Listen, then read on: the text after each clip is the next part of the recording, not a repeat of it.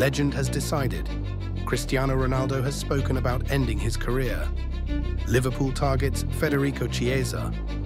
Barcelona's bold move, rejecting the most expensive player. Unexpected transfer for Real Madrid.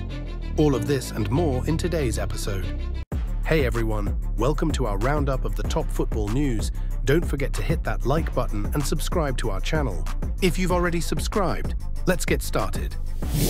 The most expensive footballer in history, Neymar, wanted to return to Barcelona and even offered his services to the Catalan club, as reported by well-known journalist Gerard Romero. However, the team's head coach, Hans-Dieter Flick, completely blocked even the idea of such a transfer. The coach's position can be fully understood. Neymar's return is more of a marketing move, and whether the Brazilian will strengthen Barcelona's game, I have big doubts. Neymar is also a very injury-prone footballer, and Barca's infirmary is already booked. What do you think about Neymar's transfer?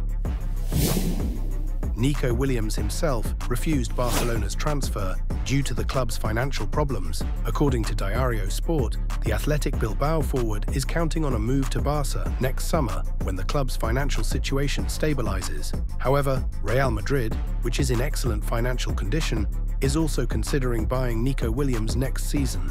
As reported by El Chiringuito TV, the fact is that before the transfer window closed, an unnamed Saudi Arabian club approached Real Madrid and said that they could make an offer of $500 million for the transfer of Vinicius. Vinny Jr. could earn over a billion in four to five years in the Middle East. But according to ESPN sources, the Brazilian decided to stay in Madrid this summer, despite the record-breaking offer for football.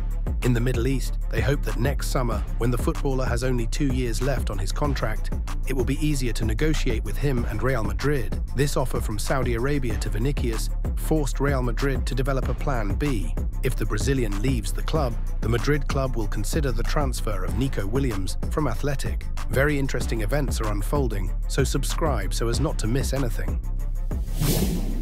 Manchester United will soon sign Uruguayan midfielder Manuel Ugarte from French Paris Saint-Germain. The Red Devils will pay $50 million for the 23-year-old footballer. Another 10 million will be provided in the deal as possible bonuses. This is a serious reinforcement for Manchester United. Federico Chiesa was actively sent to Barcelona, and it was said that the transfer would take place in the near future, but the Italian will not move to Spain. Barcelona has ruled out the option of signing Chiesa. According to Marca, the Catalan club will not be able to fit into the financial fair play rules. Barcelona had great difficulty registering Dani Olmo for the Spanish championship. For this, the club had to deregister the injured central defender, Andreas Christensen. If Chiesa were to be signed, the Catalans would have to deregister someone else. As Fabrizio Romano reports, a new contender has appeared for Chiesa. Liverpool have already made an offer to Juventus for the winger. This information was also confirmed by journalists close to the Merseyside club, including Paul Joyce and James Pearce. According to the latter, sources in the Merseyside club reported that the interest in Chiesa is exploratory. 26-year-old Federico was put up for transfer this summer. The Turin club wants to get about $12 million for him. For Liverpool, this is a negligible amount. Milan Skriniar will go to Ronaldo. Al Nassr have agreed on a transfer with the PSG star defender. The Saudi club has agreed to sign the Slovak defender. Now the transfer depends only on the 29-year-old footballer. Negotiations between the player and the Saudi club are ongoing. The Transfermarkt portal estimates its value at $30 million. One of the best footballers in the history of football has made a statement about the end of his career. Cristiano Ronaldo, who is already 39 years old, named the club where he wants to spend the last years of his football career.